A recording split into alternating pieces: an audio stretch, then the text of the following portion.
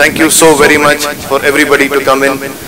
And now I would invite upon His Highness to, this is the new tower that we plan to inaugurate today and we are so happy that His Highness has actually accepted our invitation to come and inaugurate. And since, even though he's very busy today, he's been so kind enough to come and help us in celebrating the joy and the celebration with us. Thank you, Highness. Thank you, everybody.